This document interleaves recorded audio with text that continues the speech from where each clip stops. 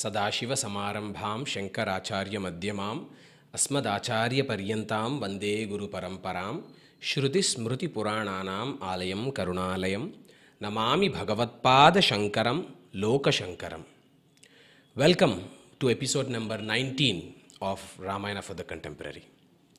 So, in the previous episodes, we have been discussing about Vishwamitra Maharshi along with Rama and Lakshmana coming to the Siddhashrama and Vishwamitra Maharshi doing a yajna for the siddhi of the world and also for the siddhi of Vishwamitra Maharshi himself.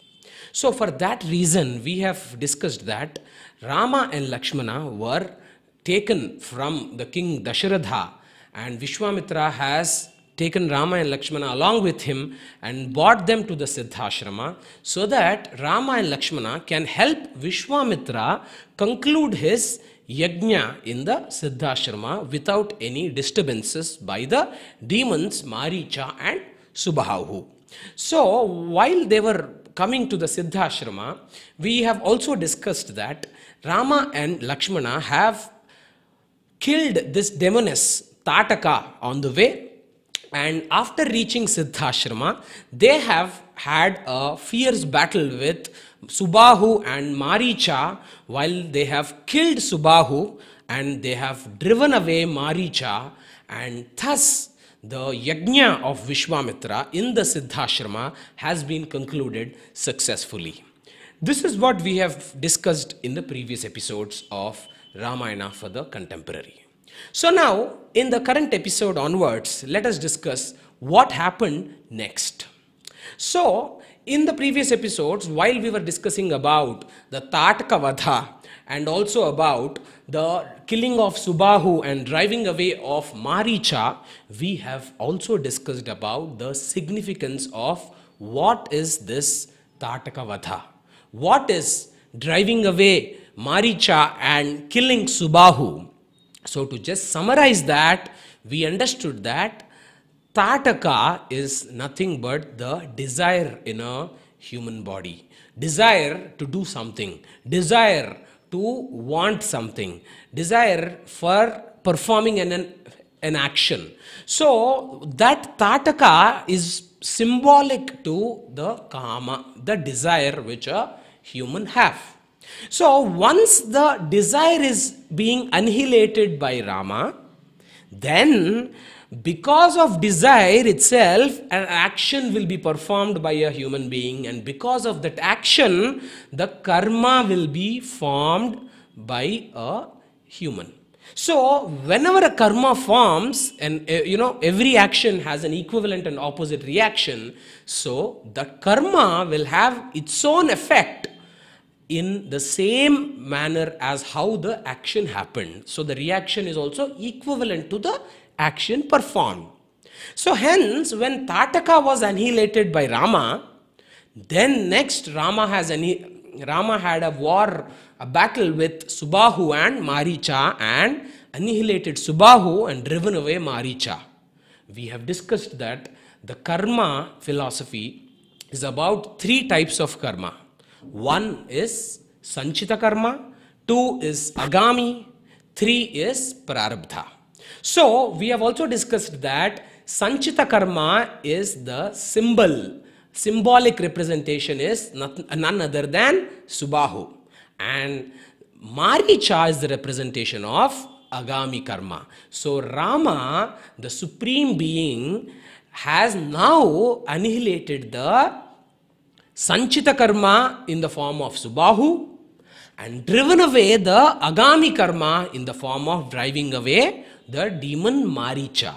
So now Vishwamitra, after getting away with his desire in the form of Tataka, because Vishwamitra was the one who has requested Rama to kill Tataka. Hey Rama, don't hesitate now to killing this demoness Tataka. Please kill her immediately. So Vishwamitra has done a surrender to Rama by surrendering all his weapons, all his his own powers he has surrendered into the feet of this 12 year old boy Rama But at a spiritual level, the understanding is Vishwamitra has surrendered everything to the Supreme Being, and that Supreme Being had made sure that Vishwamitra's karma, the desire, has been annihilated, and Vishwamitra's Sanchita karma in the form of Subahu being annihilated, and the Vishwamitra's Agami karma in the form of Maricha has been driven away. So now, after being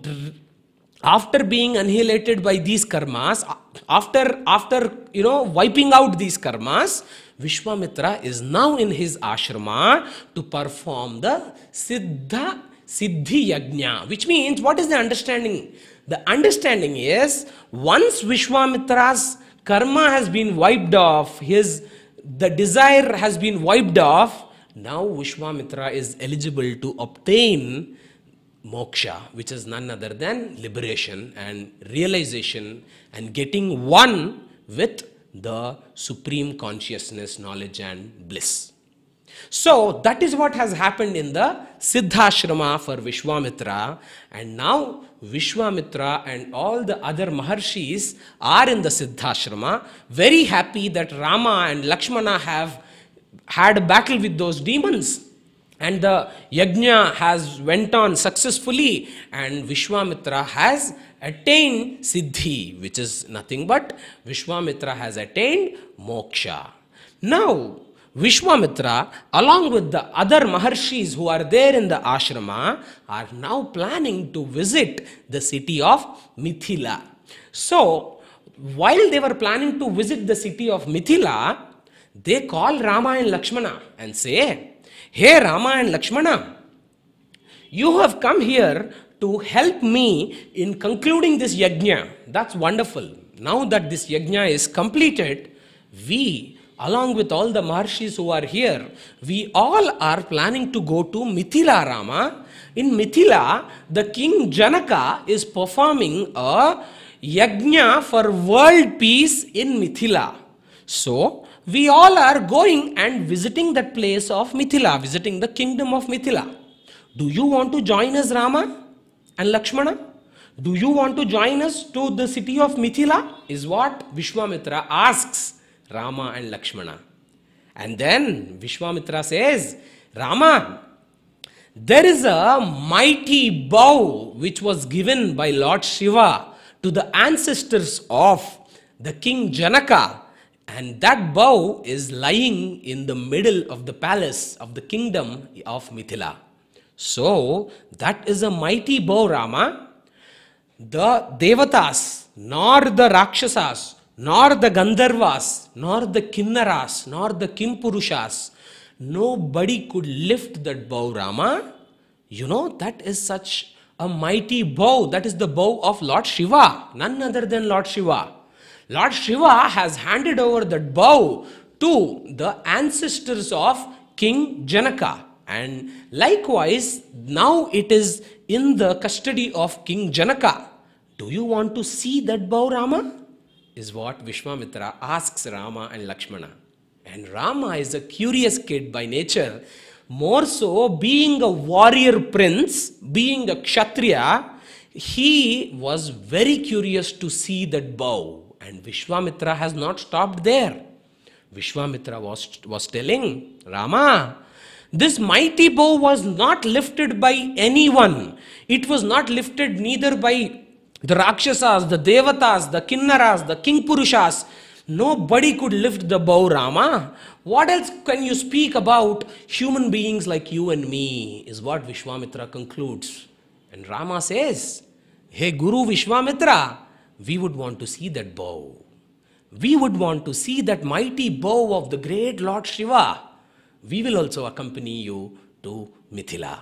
Is what Rama, Lakshmana say to the Vish, to the Maharshi Vishwamitra and all the other Maharshis present there, and all of them will start towards the city of Mithila. So here we have to understand a concept of moksha and the allied concept of the karma philosophy which we have discussed in the earlier episodes. So we have discussed that there are three types of karma. Sanchitam, Agami, and Prarabdha. And we have also discussed that the spiritual significance of the Siddhashrama and the yajna which Vishwamitra was doing for attaining Siddhi, the moksha, and Vishwamitra attaining liberation, moksha, is what we have discussed. So, if Vishwamitra has attained moksha, now a question which a good listener should put here is if Vishwamitra has attained moksha, why is he still in his upadhi? Why is he still in his human form? When, when, when he has become one with the super conscious, the supreme being, the consciousness, knowledge, and bliss, the Satchidananda, if he has become one with the Chaitanyam, the Shuddha Chaitanyam, why is he still in his human form? How can he walk along with Rama and Lakshmana and the other Maharshis to Mithila? Why should he do that? Is the question. So, the answer for that is the third aspect of the karma philosophy, which is the prarabdha. So, we discussed that the sanchitam has been annihilated by the supreme being, the agami has been driven away so that the agami will never come back to Vishwamitra. And we have not discussed about the prarabdha, which is also the third part of the karma philosophy. So, we all have to understand that even a person has attained liberation during his tenure in this human body, even when the Atma has gone and become one with the Paramatma, if his prarabdha has not been wiped off, his upadhi, which is his form, will continue until the prarabdha has been wiped off. That is the concept which we all have to understand. Which means prarabdha has to become zero. Once prarabdha becomes zero, that is when Vishwamitra leaves his body and he his atma is already connected and has already become one with the paramatma and he leaves his body once his prarabdha has been wiped off. And till then he is called as a jivan muktaha so when when once his prarabdha is wiped off that is when he becomes one completely with the supreme being. We have many jivan muktas in the recent times. We have shirdi sai baba bhagavan ramana maharshi. We have ramakrishna paramahamsa. We have swami vivekananda. We have many jivan muktas in the recent times also. So now the question automatically arises Sir, if moksha has been attained, the liberation has been attained by all these individuals, what is the reason for them to still be in this human upadhi? Why is their soul still in this human body and why is it continuing in this upadhi? Is the natural question which comes up.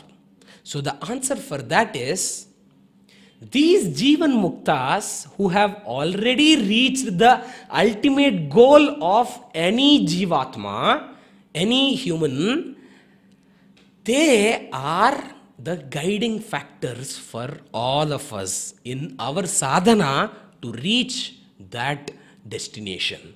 Because they have already reached and they are still in the human bodies, they are the right persons to show guidance to all of us in the form of how to reach to that level, and they are the right persons who can give us guidance to reach to that level. If at all they have left their human bodies immediately once they have attained moksha, which means once they have become, their jivatma has converged into the Paramatma, if at all they leave their human body, who else will be there in this world for giving us guidance, giving us a practical guidance of these are the steps which you have to follow to reach there? Because they have already reached that level, they are in a position to guide us. That is the prime objective of a Jivan Muktaha. So now Vishwamitra is a Jivan Muktaha who is waiting for his prarabdha to get wiped off. So now, what is prarabdha, sir? Is it only something which is associated with, uh, you know, negative effects which life is throwing up, or you know, the adverse circumstances which a human uh, goes through in his life? Is it the turbulences which, which you know, every human being, uh, you know, handles in life? Is that what is called as prarabdha? No. Generally, in a regular household, the word prarabdha has been misunderstood completely to the core. Generally, only when there is a problem which the human is facing up, only when there is an obstacle, you know, tough times which the human is facing up, that is when people call, oh, he is undergoing his prarabdha. But then, that is not all it is. Prarabdha is also something which a human undergoes when he is happy also, when life is taking very good care of him, when things are going perfectly normal for him, things are going as per his plan, that also is prarabdha. So, the positive side of happenings where life is taking very good care of us is also prarabdha. The other side of it where life is a little tough on us is also considered as prarabdha. So, only once when the prarabdha is completed, uh, that soul will leave the form of a human body. Now, precisely that is the reason why many of them are physically immobile. They are not in a position to move their own limbs of the body. They are not in a position to just roam around in the house. They are not in a position to get out of the bed also. But even in that situation, they spend years of time together only in that particular situation. But the soul will never leave their body. That is because their prarabdha is holding so long as the once the prarabdha gets wiped off, be it 5 years down the line, 10 years down the line, 15, 20 years down the line, that is when the soul leaves the human body. Similarly, there are instances where humans are very happy with the wealth they have, with the situations in life, with their children, etc. That also, when only when the prarabdha gets completed, the soul leaves the human body. So now that is the concept of prarabdha which we are learning from this episode of Vishwamitra's Siddhi and Vishwamitra still moving in his human form. So now they have started to the city of Mithila. While they are moving towards the city of Mithila, Rama, the curious kid, asks Vishwamitra, Hey Vishwamitra, what is this particular area which we are crossing? This seems to be a huge kingdom. Can you please explain what is the story of this particular place, this particular area, hey Vishwamitra, is what Rama asks his guru Vishwamitra. Vishwamitra says, Vishwamitra explains that Rama, this is the kingdom of a great king called as Kushanabha. He starts explaining the story of this king Kushanabha. What is that story? And what do we learn from that particular story of this king Kushanabha? So, Vishwamitra explains this king Kushanabha has 100 daughters. These 100 daughters were born for the king Kushanabha with an apsara called as Ghritachi by named Ghritachi. So, Ghritachi and Kushanabha had 100 beautiful daughters and these hundred daughters were very powerful because they were born by an Devatastri called as Ghritachi. So these hundred daughters were freely roaming in the gardens of this particular kingdom Rama. One day it so happened that the Devata of the wind, that is Vayu, has come to these hundred daughters of the king Kushanabha and Vayu was flattered by the beauty of these hundred daughters and asked these hundred daughters to get married with Vayu. Vayu goes and asks these hundred daughters, Hey, you beautiful girls, why don't you get married to me? I am a Devata. Once you get married to a Devata, you get lot of benefits. You know, your citizenship will be elevated to the next level. You get a green card. While if you are marrying me, now you are a normal H1B visa holder, but you will be getting a green card once you marry me. You know, that is the status of marrying a Devata. Is what Vayu, a Devata of wind, tells to these hundred daughters. So now these hundred daughters unanimously tell to Vayu that no, nothing doing. We cannot choose our husbands. Only our father should choose our husband. And only when our father decides and keeps, gives our hand to you, that is when we can marry you. Vayu, we are sorry, we cannot marry you on our own. Is what all these hundred daughters tell to this Devata of the wind, who is Vayu. Now, Vayu could have kept quiet, but Vayu didn't do that. Vayu was angry, and Vayu had gone into the body of these hundred daughters because Vayu is nothing but we have air in our body, right? So, Vayu has gone into the body of these hundred daughters, and Vayu had made a deformity in this in the bodies of these hundred daughters, and because of which these hundred daughters of the king Kushanabha have become physically handicapped and they have ripped out of their erstwhile beauty. So now, Vayu doing this have left from that place immediately, and these hundred daughters of the king Kushanabha crying, falling on the ground, losing all their physical beauty, very sad and dejected, goes back to the king Kushanabha, and the king asks, What happened? What happened to my daughters? Who had made a deformities in you? Why are you, why have you become like this? And the daughters tell that this particular Vayu have come and asked us for marriage. Oh, father. But then we have all unanimously rejected. And after rejecting, this Vayu out of anger has done this nasty job, uh, father. That is the reason we are we have become physically handicapped and lost our physical beauty because Vayu has created deformities in our body. That is what these hundred daughters humbly tell to their father, the king Kushanabha. Then their father says, You are powerful, you have the tapashakti. Why couldn't you curse that particular devata of the wind, Vayu? And why did you why did you not curse that fellow? Why did you leave him that way? Is what Kushanabha angrily asks this particular hundred daughters. And then these daughters say, Hey, father, if we start cursing everyone, the world itself will be a full place of curse and sin. There will not be a living in this world, Father. That is the reason we have forgiven that particular Devata of the wind, Vayu, and because of our forgiveness, we did not curse him, he immediately left.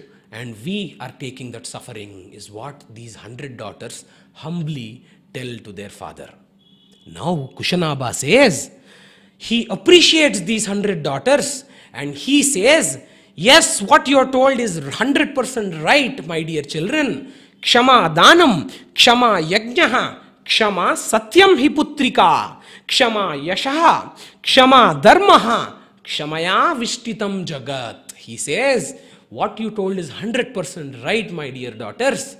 Forgiveness is the real donation. Kshama danam. Forgiveness is the yajna. Forgiveness is the truth. And only on forgiveness the whole world is running. Kshamaya vishtitam jagat. For only on forgiveness is the whole world running and living as of now. Mahatma Gandhi used to say, an eye for an eye makes the whole world blind. That is what was explained by this particular king Kushanabha. Look at what a beautiful explanation it is. Be, forgiveness is a virtue of the noble and the highest soul. A normal person cannot forgive. A normal person cannot forgive the other person who have made mistake knowingly or unknowingly, but only a virtuous soul can forgive. He'll have the power of forgiveness if the other person genuinely accepts the mistake, if the other person genuinely understands that he has done a mistake and wants to rectify that. So now these hundred daughters are there along with Kushanabha. Kushanabha was searching for a good husband for these particular daughters of the king Kushanabha. And then it so happened that there is a very powerful Maharshi by named Chuli. And this particular Maharshi has a son born out of his mind by name as Brahmadatta. So, this son born out of the mind of this Maharshi Chuli is equally powerful as the Maharshi Chuli. So, this Brahmadatta has accepted to marry the daughters of Kushanabha and Brahmadatta now marries these hundred daughters of Kushanabha. And after the marriage the this particular person Brahmadatta with his power with his sadhana he reverses the action of Vayu and removes the deformity which Vayu has done in the bodies of these hundred daughters. And these hundred daughters take back their original form and all of them live happily. So, is it actually possible, sir? Is it possible that a person with sadhana and the Shakti can he reverse something which uh, the wind has done? The answer is absolutely yes. We all have to understand that the human body is made out of the Panchabhuta, the five elements of nature. Prithvi, Apas, Tejo, Vayu, Akasha. Prithvi, the earth, Apas, water, Tejo, the fire, Vayu, the wind, air, Akasha, space. So, our human body is made out of Prithvi, earth. Sir, do we have earth in our body? Yes, 100%. How? The apple which we eat is earth. The rice which we eat is born out of earth. So, whatever we eat is not something which we have made out of something. It is coming out of earth. So, earth is an element of our body. Prithvi, apas, water is an obvious element of our body, needless to explain. Tejo, fire is an element of our body. The digestive fire, it's called. You know, the fire in the belly, the digestive fire. The Jataragni is in the body. Prithvi, apas, tejo, vayu, air, needless to say is in our body. Akasha, space is in our body. So, our body is made out of these five elements and the world is made out of these five elements. If the five elements in our body are tamed with sadhana and tapas, the five elements outside the body can also be tamed with the same power. And that power our ancestors, our maharshis who have been following the tapas shakti and following the shastras had that power of controlling the five elements of nature inside the body and also outside the body. So, now Vishwamitra, after concluding this story of Kushanabha, says that, Hey Rama and Lakshmana, that particular king Kushanabha has another son by name Gadhi. And that Gadhi's son is none other than myself. This Vishwamitra is the son of Gadhi. I also have an elder sister by name Satyavati. So, because we were born in the lineage of Kusha, my name is also known as Kaushika. And my sister, who is Satyavati, has converged herself into the form of a river and her name is the river Kaushiki. So because we were from the lineage of Kusha, we got those names of Kaushika and Kaushiki, Rama. This is the story of this particular place, Rama. Now it has been long past in the evening. So let us all do our Sandhya Vandana, Rama, and then continue our journey towards Mithila tomorrow morning. So, after explaining all these beautiful stories to Rama and Lakshmana and all the other Maharshis, Vishwamitra has taken a pause there to perform their Sandhya Vandana of the evening and then take rest in that place and to continue their journey towards Mithila on the next day. While they were going, while they traveled to Mithila on the next day, Vishwamitra explains the powerful Shanmukhotpatti to Rama and Lakshmana. He explains how Shanmukha, the Lord Kartikeya, was born and the story behind that. After that, the great Gangavatarana is explained by how the river Ganga has started flowing onto the earth is being beautifully explained by Vishwamitra to Rama and Lakshmana. So, let's all understand all of these stories in the episodes to come. Thank you and namaskaram.